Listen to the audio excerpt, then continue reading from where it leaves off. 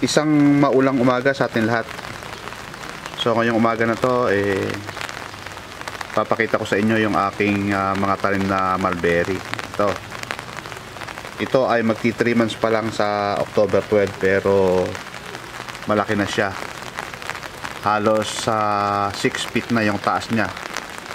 Ito 7 feet na ang ah, taas.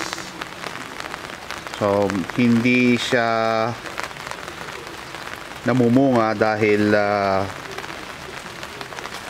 mura yung kanyang ah, ano mura pa yung kanyang ah, katawan. Pagka gumulang yung ah, mga dahon saka siya magsisimulang ah, magbunga. Yan ito pa. Mga mulberry. Ayan. Tataas na. Mas mataas na sa akin wala pa siyang 3 months for your information mga kasama. So ang mga tanim pa namin dito update ko lang kayo no? Ito yung ah,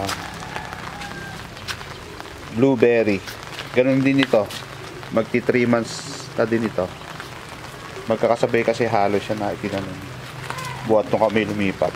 Yan so ito yung aming mga na punot ng mga damo. Dito namin ilalagay para itatabon uli namin sa mga halaman. Ayan. Mga ano yan blueberry. Ayan. Ito nga pala yung aming ah,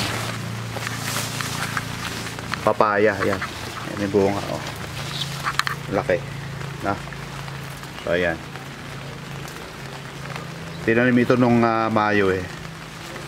So hindi lang ito 3 months. Mas nauna itong itanim, itinanim sa mga blueberry. Yan yung puno na yan eh langka.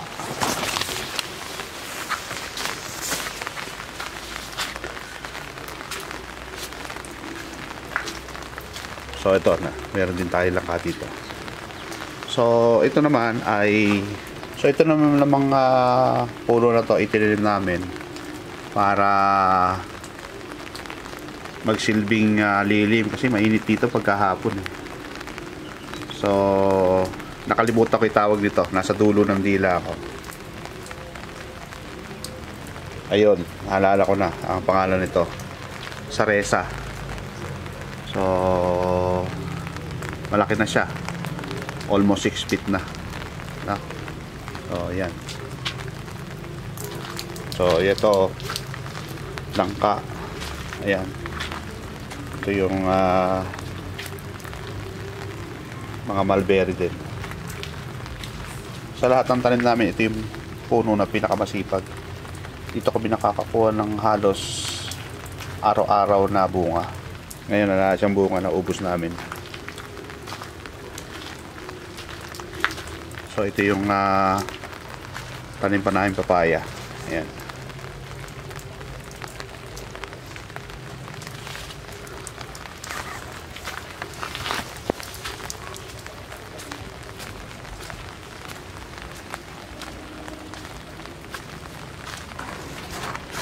At saka ito pa.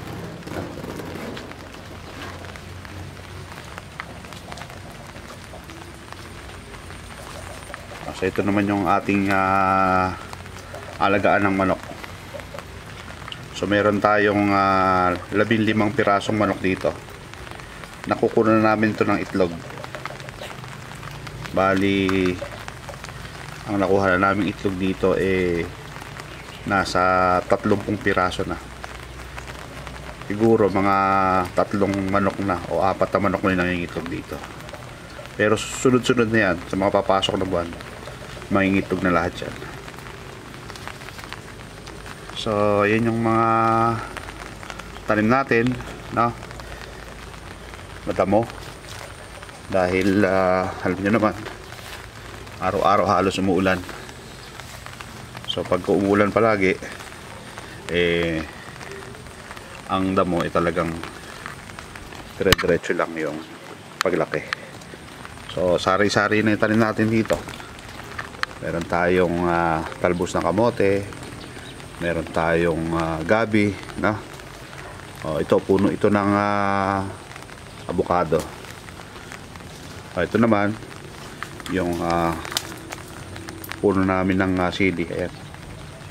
Hindi na kami bibili ng sili. At may tanim din kaming pipino. Ayan, may bunga. Hindi pa napipitas. Dahil hindi naman na kakain. Siyempre,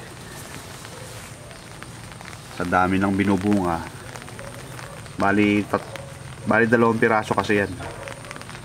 Dito, isa. Tsaka dun sa harapan, may isa dun. eh. Ayan, dami bunga. Ayan, tatago. Ayan. So, yan po yung update natin sa ating mga halaman. At nawa eh madami pa tayong maitanim dito. So, hanggang dito na lamang po. Magandang ah, maulang tanghali na po sa ating lahat.